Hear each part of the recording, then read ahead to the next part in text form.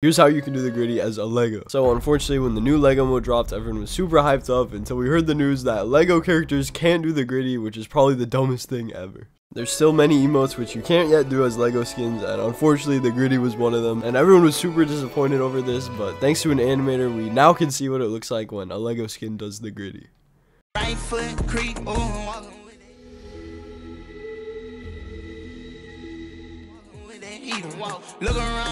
This just looks ridiculous, but let me know if you guys would cop a Lego Griddy emo.